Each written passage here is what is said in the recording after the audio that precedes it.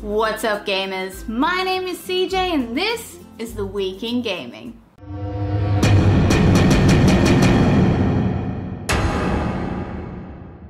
This week in gaming, I'm going to kick it off with my favorite news of the week regarding the upcoming launch of Gears of War 4, which is due out later this year.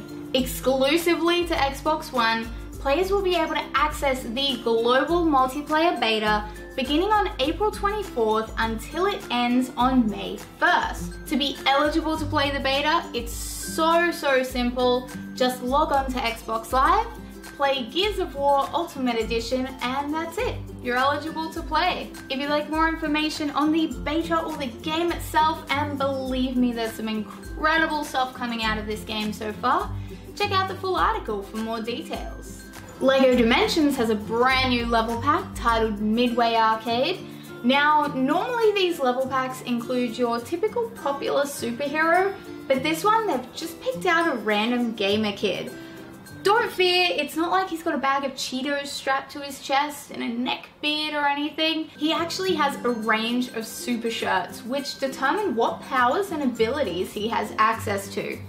It's his mission to round up the escaped characters and take them back to the Midway arcade game, and it looks like a hell of a lot of fun. There's over 20 classic arcade games to play, so it's going to be an absolute blast. It's available now for Xbox One, Xbox 360, and Wii U. In other LEGO games, Captain America Civil War is getting its own dedicated character pack in the LEGO Marvel's Avengers game, which means that you're to get to play as characters like Scarlet Witch, Black Panther, Falcon, and Winter Soldier. Despite the movie not being released until May 6th, this one is actually available right now for free exclusively to PlayStation 3 and 4 players. We've got brand new DLC coming out of Fallout 4 titled Automatron, or Automatron, and it's due out March 22nd. In Automatron, the villain is a dude by the name of the Mechanist who releases a horde of evil robots into the Commonwealth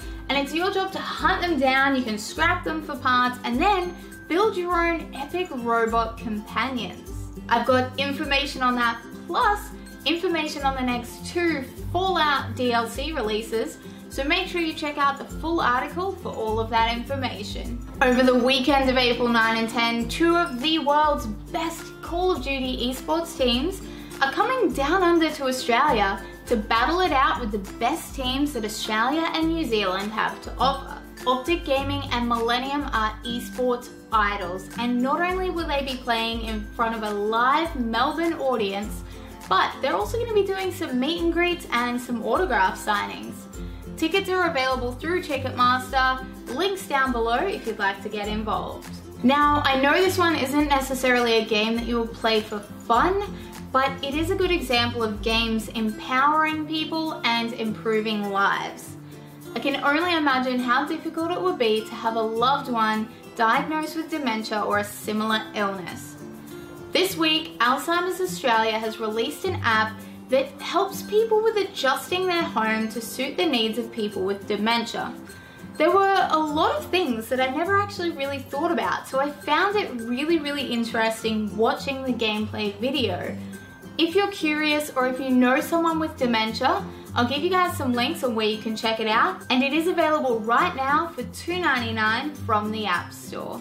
Sony are currently auctioning off a very rare 20th anniversary PS4 signed by the top dogs over at Naughty Dog Studios, who, if you haven't heard of them, created Crash Bandicoot, The Last of Us, Uncharted, there's a couple of casual, you know, worldwide renowned games. The proceeds are going to a youth cancer foundation, so it's an amazing cause to get behind. And you can check out the eBay auction through the links below, where at last check it was sitting just over $2,000.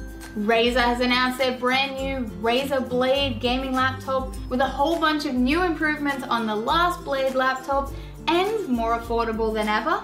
And the Sony PlayStation VR, which is their upcoming virtual reality gear, is set to be released in Australia in 2016 with a recommended retail of about $550.